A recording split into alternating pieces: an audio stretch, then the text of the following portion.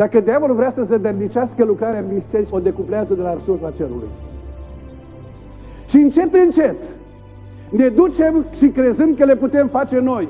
Lucrarea lui Dumnezeu se face doar cu puterea lui Dumnezeu, cu resursele lui Dumnezeu, pe baza cuvântului lui Dumnezeu, pentru slava lui Dumnezeu. Ce spune timpul tău de rugăciune despre tine? Ce spune timpul tău de rugăciune despre tine? Ce spune despre mine? Ce spune timpul de rugăciune despre biserica noastră? Ești mulțumit de timpul tău de rugăciune? Ești mulțumit?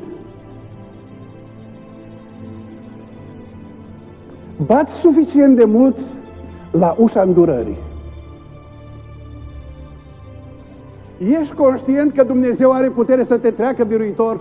Cineva a zis, dar ce să fac dacă am bătut și nu s-a deschis ușa? Am cerut și n-am primit. Și răspunsul a fost, pentru că Dumnezeu vrea să bați mai tare și să ceri mai mult.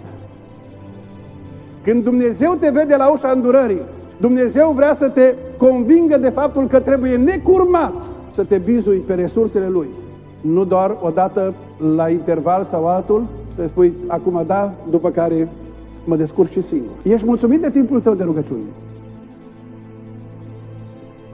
Ce spune timpul acesta despre credința ta și despre credința mea? Ce spune lucrul acesta despre resursele cerului în viața ta și în viața mea? Ce spune timpul acesta de rugăciune despre noi ca biserică? Cât de mult îți place să vii la timpul de rugăciune? O, o să zici, stai un pic, că lucrurile nu sunt așa de simple. Eu mă rog singur acasă și mă pot ruga bine. Acum, rugăciunea este de două feluri. Rugăciunea personală în cămăruță.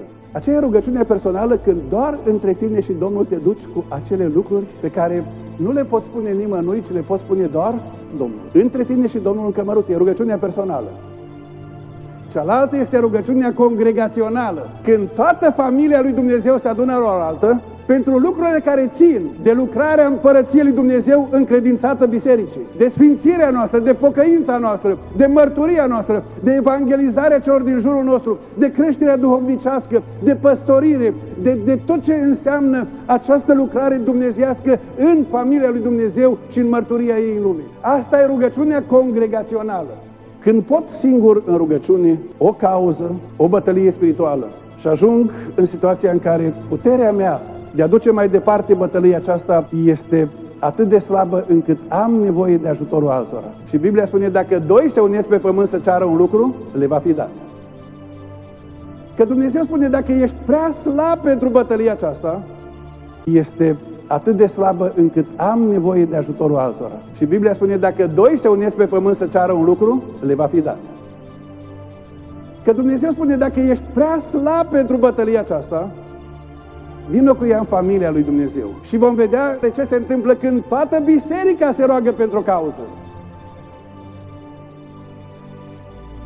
Ați auzit și auzim uneori rugăciuni, frate, soră, mai tânăr sau mai în vârstă, când spune, Doamne, te rog, dăm putere să duc crucea în familia mea.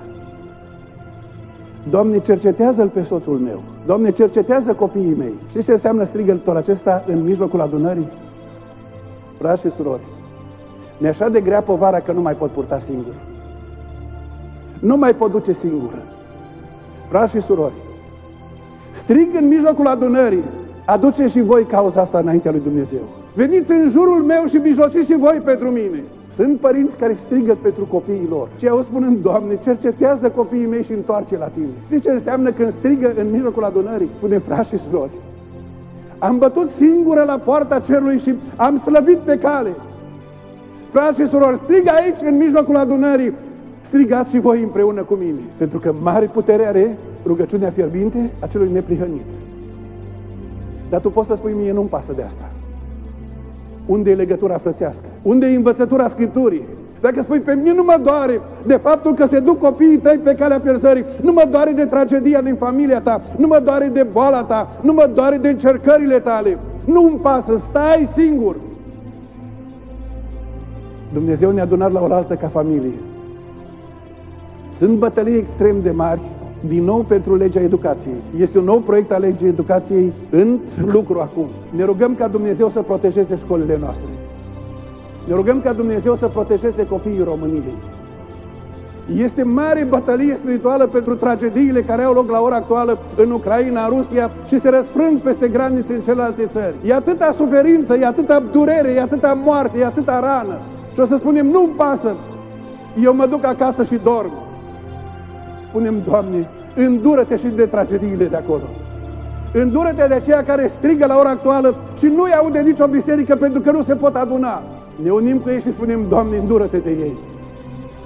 Ne uităm la familiile care trec prin tragedii mari și spunem, Doamne, îndură-te de familiile acestea. Vine